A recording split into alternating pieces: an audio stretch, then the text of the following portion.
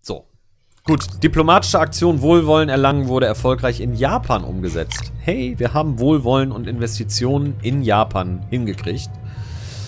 Das ist schön. Wir könnten tatsächlich dann demnächst überlegen, Japan vielleicht nochmal, weil Japan ist blocklos, wenn mich das wenn mich das nicht täuscht. Ach, wir brauchen mehr als 120 Beziehungen. Da könnten wir darauf hinarbeiten, indem wir jetzt eine positive Aktion, diplomatische Mission machen. Romi, wollen wir das vorbereiten? Ja. Klar. Okay. 75 Prozent. Wir könnten Investitionspunkte. Wir könnten sowohl Wohlwollen als Investitionspunkte und wir haben 90 Prozent, dass das klappt. Plus 40 ja. für ein Jahr. Ja, das finde ich gut. Okay. Dann machen wir das mal. Und wir machen mal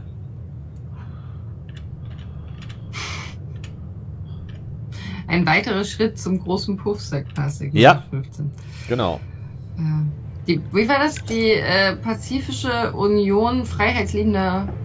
Nee, was war's? Ja, Pazifische Freiheitsliebender. Ähm, Wofür war das zweite F? Während ich im Chat scrolle, scrolle ich auch im Spiel Freunde. immer näher rein. Also freiheitsliebender Freunde, ja. Oha. Freunde. Ähm, Einladung zum Begräbnis. Mit, mit äh, Beerdigungen hatten wir in diesem Spiel wenig Glück. Äh, unsere Verbündeten haben uns zum Staatsbegräbnis ihres Staatsoberhauptes eingeladen, der nach langer Krankheit verstorben ist.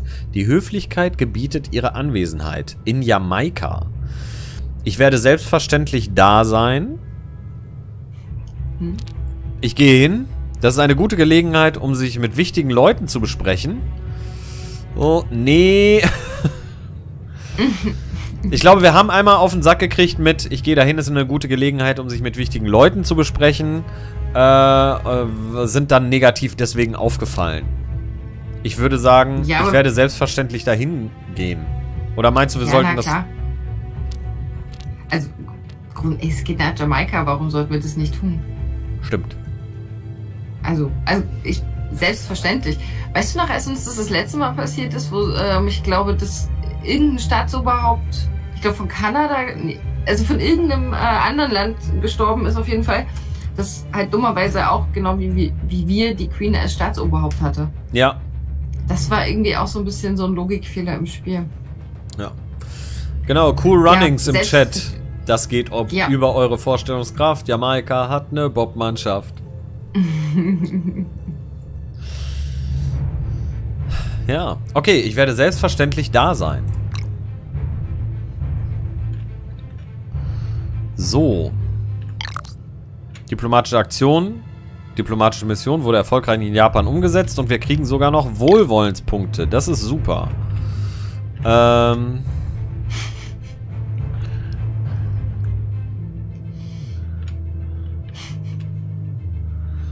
Nur alte Säcke her. Nein, wir sind gar wir sind doch alle gar nicht so alt. Man ja, ist immer so alt, wie man sich fühlt. Ja, wir müssen ja auch niemanden wegen seines Alters diskriminieren. Nee. In keine Richtung. Ah, und jetzt geht schon wieder los. Rechtsextreme Gruppierungen werden immer beliebter. Wir konnten in jüngster Zeit einen enormen Zuwachs der Mitgliederzahlen rechtsextremer Gruppierungen in unserem Land ausmachen. Es wird Zeit. Uiuiui. Wir dürfen nicht zulassen, dass der Faschismus hierzulande Fuß fassen kann. Lancieren wir entsprechende Gegenpropaganda. Wir dürfen nicht zulassen, dass der Faschismus hierzulande Fuß fassen kann. Verbieten wir deren Aktivitäten. Wir dürfen nicht zulassen, dass der Faschismus hierzulande Fuß fassen kann. Verbieten wir deren Aktivitäten und lancieren wir Gegenpropaganda. Äh, es ist bestimmt nur ein vorübergehender Trend unter den jungen Leuten. Kein Grund zur Sorge.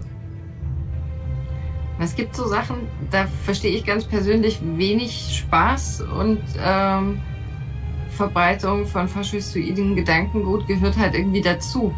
Und insofern bin ich äh, sehr für Verbieten und gegen Propaganda. Ich auch. Kein, keine äh, Toleranz der Intoleranz.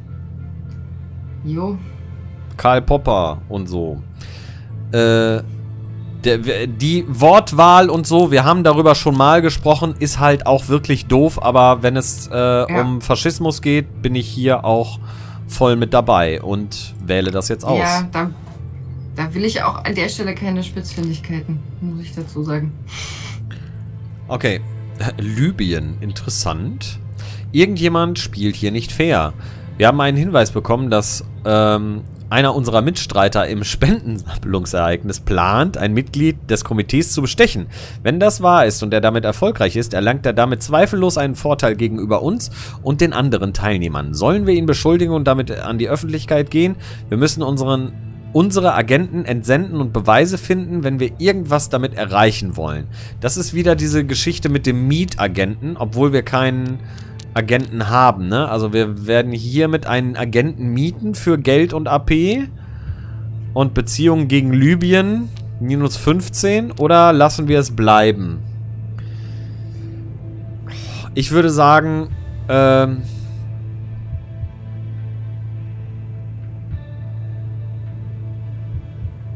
Wir lassen es bleiben. Hm. Also wenn wir dann vielleicht Platz 2 werden, dann kriegen wir anstatt 150 Punkten 100 Siegespunkte in diesem Wettstreit um Spendensammlungsereignis. Damit kann ich auch leben. Äh, dafür würde ich nicht so viel AP und Geld raushauen. Obwohl wir von beidem hätten.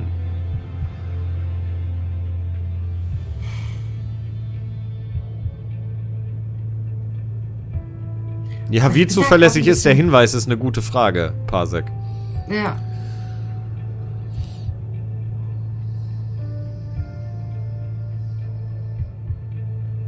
Ähm. Ja, also ich bin auch gerade irgendwie bei lassen wir es bleiben. Also wir können jetzt auch sagen, wir haben da jetzt schon so viel Geld reingebuttert, jetzt lass uns das damit beenden. Und versuchen wir es. Aber es muss auch nicht. Nee, finde ich auch nicht. Nachher haben wir Unrecht und äh, stehen dann doof da. Mhm. Also lassen wir es bleiben. Ja, äh, wir sind immer noch in diesem Dings. Wir sind jetzt auf Rang 2. Man kann halt leider nicht sehen, wer auf Rang 1 ist. Wenn es Libyen ist, naja, dann haben sie halt bestochen. Was ist hier oben passiert? Montenegro hat sich dem Block Bulgarien angeschlossen. Ja, und Pakistan kriegt immer noch auf den Sack. Gott. Ja, wir sind im Ende März 2029. Äh, das ist äh, schon ganz gut. Und unser äh, BIP-Wachstum ist schon wieder so ein bisschen, wir können mal gerade auf die Wirtschaft gucken. Die Weltwirtschaft geht wieder hoch. Ist nicht ganz so schlimm mhm. eingebrochen wie davor. Wir sind immer noch auf einem guten Weg. ich finde, wir sind trotzdem gut durchgekommen. Wir hatten ja auch die BIP-Einbußen aufgrund der Inflation und unseren ja. Gegenmaßnahmen. Auch für eine Zeit. Und dafür war das gerade gar nicht schlecht. Ja. Wäre das bei Democracy doch auch so entspannt gelaufen? Tja. Das hängt mir immer noch ein bisschen nach. Mhm. mir auch. Definitiv. So, ich. Glaub, da, ah. Da. Beitrag zur Spendensammlung. Ähm, ja, dann nehmen wir wieder den höchsten, ne? Na klar. Hm. Wir haben das Geld. So, jetzt machen wir gerade Pause. Ähm, Blockaktivitäten. Wir können wieder, ich würde beides machen. Resources und äh, AP. Ne? Ja. Also, Resources. Wir haben genug Investitionspunkte und wir haben noch einen Wohlwollenspunkt. Den würde ich bei den AP ausgeben und nicht bei den Ressourcen. Ja. Ja. So. Und Pasik fragt auch, ob, ähm, ob in dem Falle hier es auch Atomwaffen gibt. Ähm, ja. Am, am, Beispiel jetzt äh, Pakistan, weil es ja eines der Länder auf der Welt ist, die über Atomwaffen verfügen. Ähm, ich weiß gar nicht, wie sich diese Kriegssimulation hier generell ausgestaltet. Dafür müssten wir wahrscheinlich einen Krieg führen. Ähm, was man entwickeln kann, muss, sollte, ob es da irgendwas gibt. Ja, hier oben ist ja eine extra Raketenanzahl mit konventionellen und atomaren Raketen. Also das wird extra, ja. extra getrackt, weil ich äh, jetzt ist gerade äh, Ask for Governmental Assistance in Australien war erfolgreich. Ask for Resources war erfolgreich. Das ist sehr schön. Nochmal Pause. Wenn ich da drauf gehe... Achso, keine, keine Raketen verfügbar. Ja. Okay. Wir haben halt keine. Weder eine konventionelle noch äh, ähm, atomare. Aber das ist weiß, wesentlicher Teil des Spiels auch, ja. Ja. Und ich weiß jetzt auch, wir sind ja, wir sind relativ am Anfang des Spiels. Ich weiß nicht, ob die anderen Staaten in der Simulation quasi genau wie wir mehr oder weniger bei Null anfangen, bis dann irgendwann die Atomwaffe entwickelt ist. Ähm, also könnte es sein, dass die anderen die auch noch nicht entwickelt haben, aber da ich nicht weiß, ob die auch bei Null angefangen haben, kann es auch sein, dass sie die schon haben im Spiel. Genau. Nebenbei ist unsere Forschungsexpedition umgesetzt. Jetzt kommen wir Komponentenproduktion für die Wasserbesiedlung. Äh, wäre das nächste. Das jetzt 4000 AP kostet. Da sind wir noch nicht, aber das behalte ich mal im Hinterkopf. Äh, hm, auf jeden Fall. Nicht. Ja. Wir haben jetzt gerade wieder von Australien was gekriegt. Und das hier steigt, weil unser IME steigt. Und moderne Wasseraufbereitungsanlagen sind wir gleich mit durch. Das gibt wieder einen Boost hier rauf und dann wahrscheinlich auf AP. Yeah. Moderne Wasseraufbereitungsanlagen. Und da machen wir jetzt weiter. Äh, das war Infrastruktur. Mhm. Nee, grundlegende Infrastruktur. Ja. Ah, okay.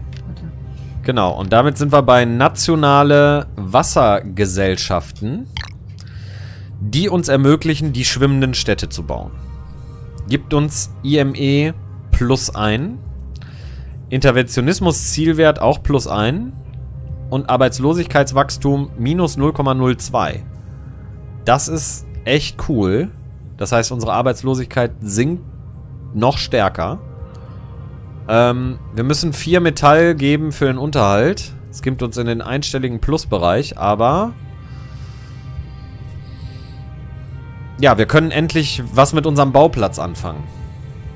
Genau. Ja, also... Und wir haben ja auch wirklich kein Geldproblem. Auch nee. wenn wir ab und zu mal wieder Rohstoffe einkaufen müssen, dann ist auch so. Ja, genau. Und das ist jetzt noch nicht so oft passiert. Und tatsächlich können wir ja auch unseren Blogpartner fragen. Und auf mhm. kurz oder lang äh, ist es jetzt ja auch so, dass wir Japan eventuell wieder mit in den Block holen. Das heißt, wir kriegen vielleicht hier ein Minus auf Metalle.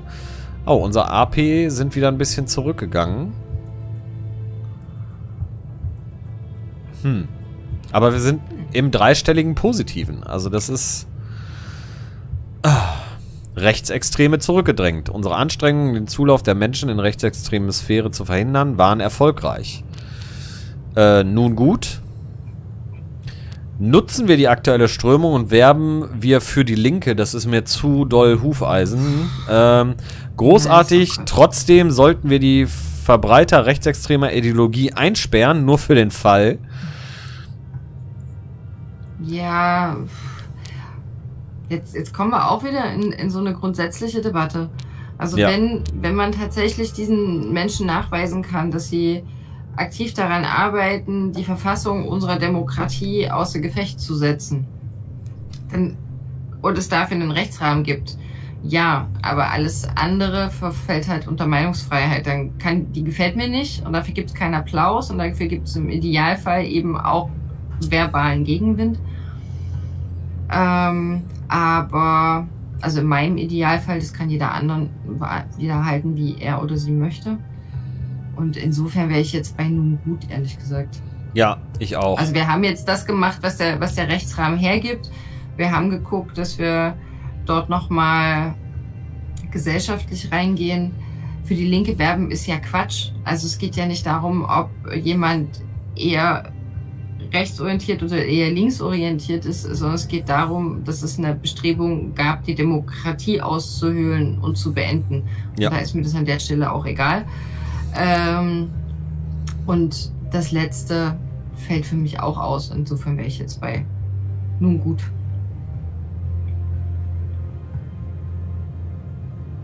Und äh, Rasengras wirft hier nochmal Wikipedia ein. Ähm, ja, Behörden. Ja. Das ist auch. Ja. Viele Behörden ja, sind naja. Hufschmiede. Naja, das ist ja noch mal, das ist jetzt nochmal eine ganz andere Debatte, wie, ähm, wie erfolgreich oder wenig erfolgreich bestimmte Behörden im Kampf gegen, ähm, gegen Rechtsextremismus sind. Die Debatte würde ich auch ehrlich gesagt um vier Minuten vor Mitternacht nicht aufmachen wollen. Worum es hier aber, was aber für mich der entscheidende Punkt ist, wir haben dafür einen Rechtsrahmen und der äh, hat, definiert das. Und alles andere sind, ist meine persönliche Definition und meine Vorstellung davon. Das bin ja ich. Also das, was, das, was für mich noch ähm, unter okay läuft, ist für jemanden anders schon, schon super krass. Und ähm, andersrum ja auch. Insofern ähm, bin ich da tatsächlich bei dieser staatlichen Definition und alles andere ist mein persönliches Ding. Will ich nicht, will ich nicht. Aber das ist halt eine Demokratie. So. Hm. Okay, nun gut. Habe ich jetzt angeklickt, bin ich auch total bei dir. Äh, diplomatische Aktion Wohlwollen erlangen wurde erfolgreich in Australien umgesetzt. Sehr schön. Wir haben wieder Wohlwollenspunkte. Großartig.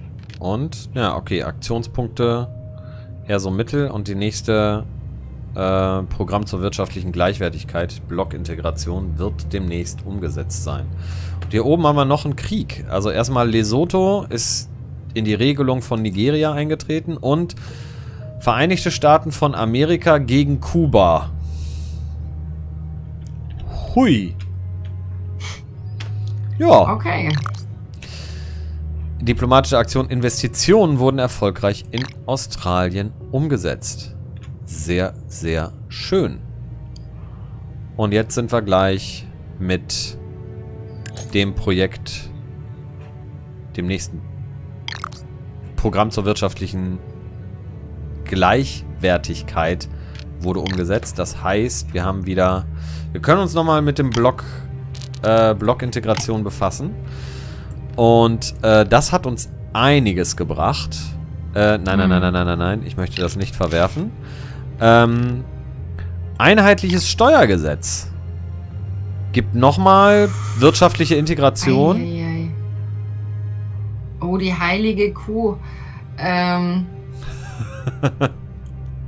es ist, also kann man in der Europäischen Union ja auch ganz gut sehen. Also da hat ja jeder Staat nach wie vor ähm, seine eigene Steuergesetzgebung, das nationale Hoheit. Gleichzeitig haben wir in Teilen der Europäischen Union eine gemeinsame Währung, was naja, Wirtschaft und Finanzpolitik hängt halt dann schon irgendwie zusammen. Ähm, also insofern, das ist schon total verrückt, aber warum nicht? Unsere Steuereinnahmen steigen, die Blockintegration wollen wir und das Bruttoinlandsprodukt innerhalb des Blocks wächst auch. Also es ist in, im Sinne unseres Spiels, ist das, glaube ich, voll im Interesse. Ja, also würde ich sagen, nehmen wir das und äh, die Projekt Nationale Wassergesellschaften, ähm, da werden wir auch einiges an AP-Kosten für brauchen. Ähm, wann können wir denn wieder? Jeweils in 20 Tagen und positive Aktionen, na, das dauert länger. Jeweils in 20 Tagen können wir nerven für AP und für Metalle. Ich kann ja mal gerade, während die Zeit weiterläuft, ein bisschen gucken. Wenn wir auf gesellschaftlich äh, klicken und hier schwimmende Stadt. Wir brauchen 2000 AP, 200 Metall, die haben wir. Gebäudeunterhalt 5 Metall, 20 AP, 3 seltene Erden, 5 Brennstoffe. Das ist schon eine Sache. Ja, aber haben wir. Genau. Umweltzerstörungsmodifikator, Bevölkerungswachstum wird halt angekurbelt. Da sind wir bald. Und ich bin mal gespannt, wa was wir brauchen, um das aufzuwerten. Dann werden die Boni sicherlich noch besser. Ich dachte jetzt, wir brauchen mehr Metall, aber das geht ja tatsächlich. Für diese Geschichte. Aber ja, dauert noch 164 Tage, äh, bis wir das haben. Aber das ist dann, ähm, wir haben dann endlich was für einen Bauplatz. Ich finde, das ist schon, äh, oh, ein Krieg ist gerade weggegangen. Pakistan gegen Indien ist, glaube ich, vorbei. Pakistan gegen Iran ist immer noch am Start.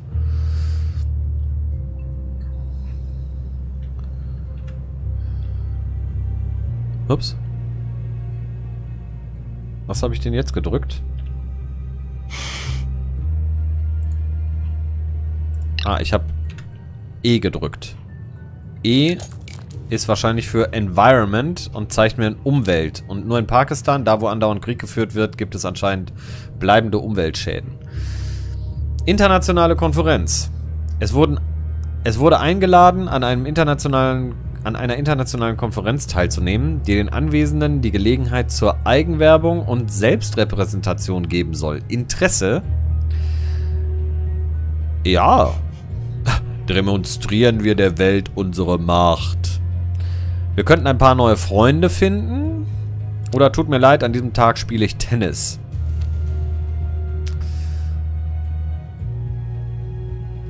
Tja. Also grundsätzlich, also grundsätzlich finde ich das schon gut.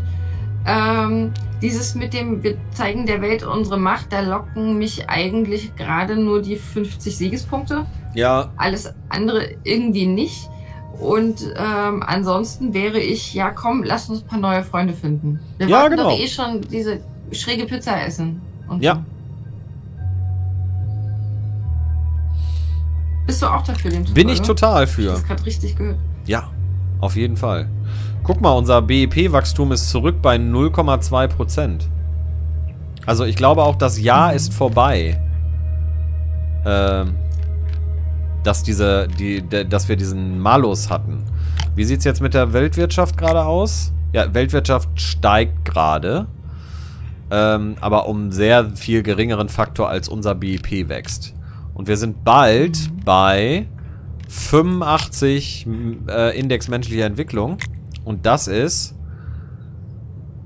eine Siegesbedingung für, für Technologiesieg. Total gut. Ja. Und ich könnte mir auch gut vorstellen, dass wenn die Weltwirtschaft so nach oben geht und unser Bruttoinlandsprodukt so steigt, ähm, dass wir dann auch so ein bisschen anfangen könnten, Auslandsinvestitionen zu machen. Damit Mhm. unser Geld im Fluss bleibt, sozusagen international, weil ansonsten haben wir wieder dieses Inflationsproblem. Ja. Hier ist wieder die Spendensammlung. Äh, das ist die letzte Dings. Und da gehen wir, äh, beenden wir das mit Stil. Da gehen wir volles Met rein. Wo sind wir gerade? Wir sind Platz 1. Na super. Dann geben wir nochmal 1000 Mhm, und gucken, was am Ende rauskommt. sehr gut. Wie lange geht, sind eigentlich die zwei Jahre noch am Laufen für die Aufgabe? Das Um ist eine gute. Ich glaube, wir haben das. Wir haben das äh, äh, 2028 erst bekommen. Äh, also das wird noch eine Weile laufen.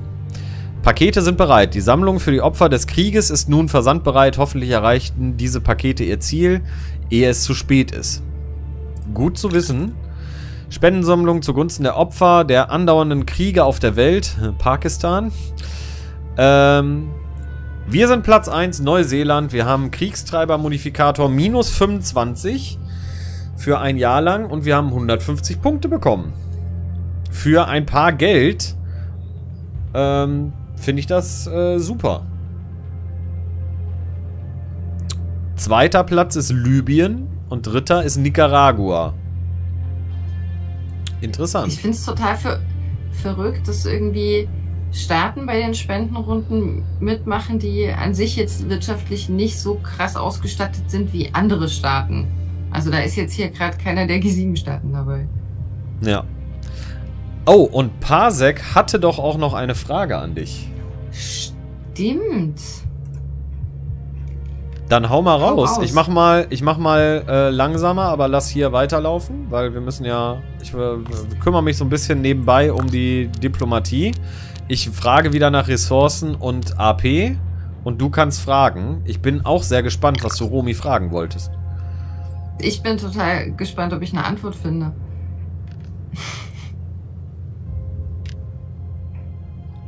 Oh.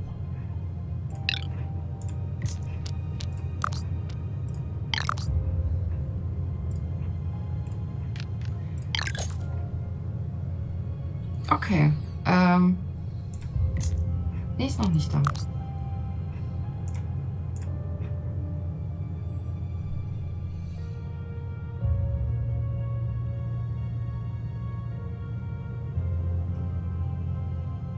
Hm.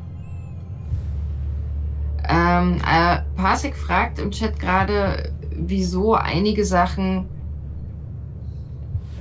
auch in der Demokratie geheim entschieden werden oder dass bestimmte Ausschüsse nicht, nicht öffentlich sind.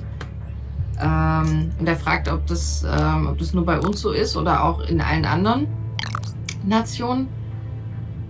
Puh, das ist so einfach gar nicht zu beantworten. Die,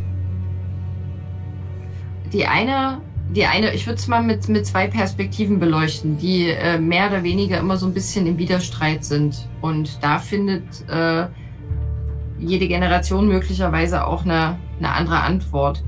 Ähm, und das hat nicht mal unbedingt was damit zu tun, ähm, dass es ja quasi zum, zu einer Demokratie gehört, dass alles öffentlich ist. Ähm, Und das ist auch das- längst nicht, äh, längst nicht immer so. Ich meine, äh, in der Demokratie gibt es erst seit kurzer Zeit das Recht auf informationelle Selbstbestimmung und dann auch diese Informationsfreiheitsgesetze. Das ist ja auch eine Sache, die relativ Ja. neu ist, dass man sowas abfragen kann. Das wollte ich nur kurz Ja. einwerfen. Ich wollte nicht im Redefluss, weil ich bin auch neugierig, wie du das erklären wirst. Ich, nee, ich weiß gar nicht, ob erkläre, ob ich das erklären kann, sondern eigentlich werde ich wahrscheinlich eher ähm, neue Fragen aufwerfen. Aber ich hoffe, das ist trotzdem eine adäquate Antwort. Ähm, die, eine, die eine Perspektive darauf ist, dass man manchmal, wenn es darum geht, Entscheidungen zu treffen, so gut begründet, wie sie auch fachlich dann im Idealfall sind, dass es manchmal auch wichtig ist, Sachen vertraulich zu besprechen. Dass die Sachen nicht sofort, solange sie noch nicht ausgekaspert sind, solange das noch in einem Prozess ist, in einem Fluss ist, dass das nicht direkt raus an die Öffentlichkeit geht. Weil dann gehen vielleicht wichtige Elemente dieses Gespräches einfach verloren. Oder manchmal braucht es mehrere Diskussionsrunden und mehrere Partner, die man mit einbezieht, um bis zu einem Ergebnis zu kommen. Das falsche Wort im falschen Medium zur falschen Zeit kann diesen kompletten Prozess einfach auch kaputt machen. Ähm, dann, also das, das ist so eine, eine Perspektive, dass man Sachen erst dann an die Öffentlichkeit gibt, wenn sie tatsächlich ausgegoren sind. Es kommt aber auch auf die Fragen an, die wir stellen. Das ist die, der, der zweite Teil, warum ich sage, die Frage kann ich so einfach nicht beantworten. Es macht einen Unterschied, ob wir beispielsweise über einen Parlamentsausschuss sprechen, äh, der sich mit Geheimdiensten beschäftigt. Da ist, äh, ist halt einfach mal das Wort geheim davor. Da geht es um nationale Sicherheit und auch da finde ich es völlig in Ordnung, wenn bestimmte Dinge nicht immer sofort an die Öffentlichkeit geraten, sondern ähm, dazu brauche ich Vertrauen in das demokratische System an sich und in die Politikerinnen und Politiker, die dort drin sitzen, dass sie trotzdem ihre parlamentarischen Kontrollrechte nutzen und dass sie Nachfragen an den richtigen Stellen. Das mag von außen intransparent wirken und das ist es sicherlich auch ähm, zu einem gewissen Grade. Aber dafür braucht es gute Mechanismen. Das heißt, die Gesetze müssen gut gemacht werden, die Institutionen müssen gut ausgestattet sein. Es muss Sicherheit darüber geben, dass die Geheimdienste irgendwie kein Eigenleben entwickeln. Also es sind ganz, ganz viele Fußnoten, die ich dort an der Stelle, bei, zum Beispiel bei Geheimdienstausschüssen mit dran packen würde. Dann haben wir ähm, und manchmal auch eine ganz praktische Umsetzungsfrage. Ähm, da hat einfach bisher noch keiner dran gedacht. Wenn man, äh, der Deutsche Bundestag äh, beispielsweise, die haben halt die Parlamentsdebatten auch schon seit vielen Jahren öffentlich. Aber dass diese Ausschüsse so wichtig sind, das hat einfach auch gedauert, bis man dann an den Punkt gekommen ist zu sagen, jo, das machen wir. Inzwischen ist aber auch die mediale Ausstattung da.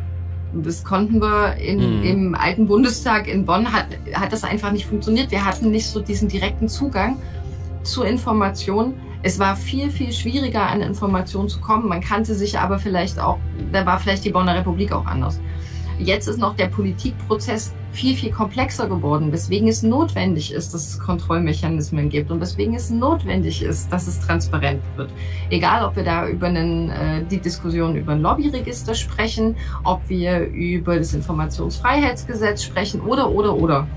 Ähm, das fängt ja schon bei Kleinigkeiten an. Da brauchen wir überhaupt nicht über die Öffentlichkeit von Ausschüssen reden.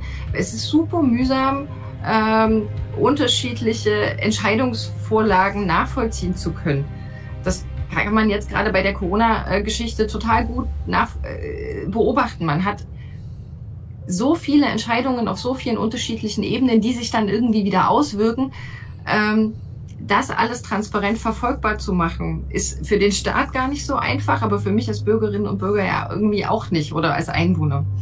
Und da sind einfach so viele Einzelfragen, über die wir ganze Bücher schreiben könnten, weswegen ich dir die Frage, warum eigentlich in der Demokratie das nicht alles öffentlich und transparent ist, so einfach nicht be beantworten kann. Ja, ich habe ein bisschen weiter ausgeholt und ähm, wir könnten da super. wahrscheinlich noch mehr Beispiele finden. Ja, und äh, eine Sache, die Parsec auch äh, zwischendrin schreibt, Öffentlichkeit verhindert also teilweise Argumente. Ähm, von der Seite äh, verhindert Öffentlichkeit, kann äh, äh, Öffentlichkeit Argumente verhindern, indem du äh, vielleicht brauchst du auch mal mit deinem politischen Gegner äh, einen geschützten Raum, wo es nicht immer darum geht, äh, wir müssen unsere Parteilinie halten, wir müssen, wir, wir müssen darauf achten, was demnächst in der Zeitung steht, sondern auch mal eine Positionsbestimmung zu haben, okay, was ist Verhandlungsmasse und was nicht, was ist möglich als Kompromiss und was nicht, dass man auf so einer Ebene äh, miteinander spricht. Das, ist, das funktioniert ja in unserem politischen System nicht, wenn jeder sofort daran denkt, das, was ich jetzt sage, steht morgen in der Zeitung zu diesem Punkt. Vielleicht wird das eine ganz große Nummer und dann taktiert jeder für sich. Ich glaube, das meintest du, Romi. Also geschützter Raum, um Sondierung zu haben. Äh, genau, das, das ist ein Element davon, zumal wir ja auch in einem, äh, in einem politischen System mit einer sehr großen vertikalen und horizontalen Machtverteilung leben. Das, das betrifft sowohl Parteien, das betrifft aber eben auch die, äh, die Landesparlamente, die Landesregierung, also die, diese, diesen Bereich. Und es muss den Zeit, Zeit und Raum geben, dass man sich immer noch mal rückversichern kann. Weil wenn wir das nicht haben, passiert genau das, was äh, häufig irgendwie dann in irgendwelchen Überschriften steht oder gerne am Stammtisch gesagt wird. Keine Ahnung, ähm, Angela Merkel hat uns den Laden dicht gemacht. Das ist doch Quatsch. Ähm, aber das ist halt das, was hängen bleibt. Was aber viel transparenter sein müsste, ist, was eigentlich für ein Austauschprozess dahinter ist das wäre für mich viel essentieller, dass ich weiß, das gibt diesen Prozess. Mir geht es gar nicht unbedingt darum, dass ich jede Entscheidungsvorlage sehen will. Mir geht es auch überhaupt nicht darum, äh, dass ich mir jede Ausschuss Sitzung läuft jeden Vormittag Phoenix. Also ich gucke mir relativ viele Bundestagsdebatten an kommt, oder manchmal auch einen Landtag äh, im Stream. Aber mir geht es darum, dass es diese Prozesse an sich transparent gibt. Und ähm, ansonsten wäre vielleicht nur noch ein Punkt, dann komme ich auch zum Ende. Ja, Passig, du hast da wirklich ein, äh, ein großes Thema angeschnitten. ein anderer Punkt, den ich ähm, noch mit einbringen wollen würde, ist das ja auch die Frage, wenn Sachen noch nicht ausgegoren sind und vielleicht irgendwie jemand nur was aufschnappt oder so einen Halbsatz weitergibt, hat man auch nicht mehr Kontrolle über die Botschaft, die nach außen geht.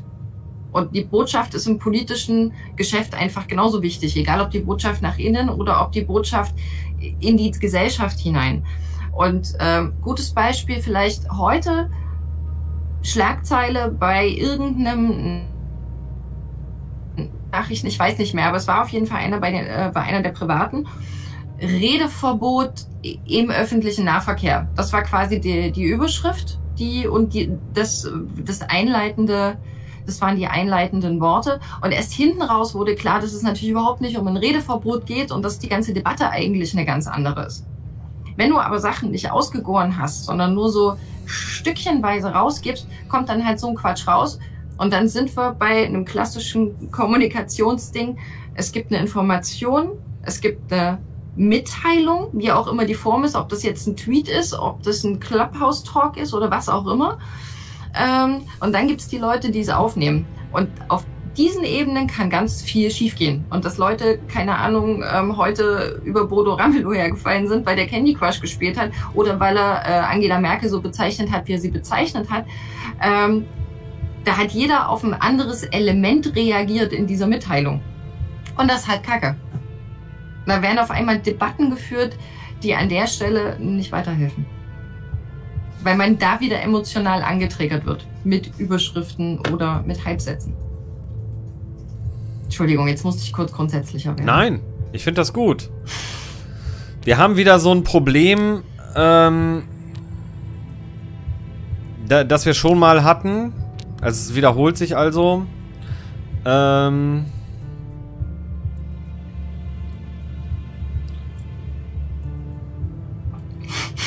Ja, äh, Zusammenfassung im Chat auf Deutsch. Es geht nicht besser, weil die Leute geil auf blödsinnige Ansagen sind, anstatt auf Fakten, Details. So kann man das auch sehen. Ist. Wäre mir zu einfach. Wäre mir, wär mir auch zu einfach. Es ist einfach, es ist, es ist verdammt komplex. Also Politik ist komplex und Gesellschaft ist komplex. Und na klar macht es das manchmal auch leichter, Sachen so runterzudampfen und zu versuchen, in einem geführten Wahlwerbespot zu bringen. Aber es gibt einfach Situationen in der politischen Debatte, wo ich mir tatsächlich manchmal mehr inhaltlichen Austausch wünschen würde als Überschriften. Aber das ist einfach mein Wunsch, aber da bin ich vielleicht auch zu sehr Politikwissenschaftlerin. Da kann und will ich nicht für andere sprechen, welchen Bedarf die haben. Ja. So, wir müssen uns jetzt dem Tod eines umstrittenen Politikers wenden. Das ist äh, äh, so ein Ereignis, das würde ich gerne noch weghaben und ich komme aus diesem Dilemma auch nicht raus, um zu speichern, weil wir wollten um diese Uhrzeit auch langsam äh, mal Feierabend machen, hatten Romy und ich mhm. uns so äh, besprochen. Deswegen lese ich das jetzt mal kurz vor. Tod eines umstrittenen Politikers. Eine der kontroversen Figuren unserer politischen Szene ist kürzlich verstorben. Er war ein prominenter Regierungsgegner, aber gleichzeitig auch ein Patriot mit einer großen Gruppe loyaler Anhänger. Sie wollten, äh, sie wollen, dass er ein offizielles Staatsbegräbnis erhält. Eine ebenso große Gruppe ist allerdings dagegen, ihm diese Ehre zu erweisen. Möglichkeiten. Wir halten all unsere Patrioten in Ehre, egal welche politischen Ansichten sie haben. Er war der Feind des Staates. Das Letzte, was wir brauchen, ist ein Schrein zu seinem Gedenken. Ich hätte jetzt gerne gewusst... Äh, was er denn war. Also, ja, genau. Und ich glaube, da sind wir das letzte Mal auch dran, dran gescheitert. Weil da steht ja nur Regierungsgegner. Also nur weil dem nicht gefällt, was wir als Regierung tun, ähm, Himmel, Herrgott, wo kommen wir denn dahin? Wir sind eine Demokratie. Wenn er jetzt versuchen würde, uns zu entmachten oder keine Ahnung, sich auf eine Bühne stellen würde und sagt, Leute, jetzt stürmt das Parlament, ähm, dann könnte, dann würde ich jetzt noch mal anders drüber nachdenken, ob diese Person ein Staatsbegräbnis verdient hat. Aber ich finde, man sollte Staaten und ihre Regierungen nicht miteinander verwechseln. Ja, wir halten all unsere Insofern Patrioten in Ehre, egal welche politischen Ansichten. Wenn ich das klicke, gibt es oppositionelle Partei, also die Parteien, die was dagegen haben, sind rechts außen und Mitte rechts. Und äh, bei dem anderen ist es äh, die links außen und Mitte links hat was dagegen.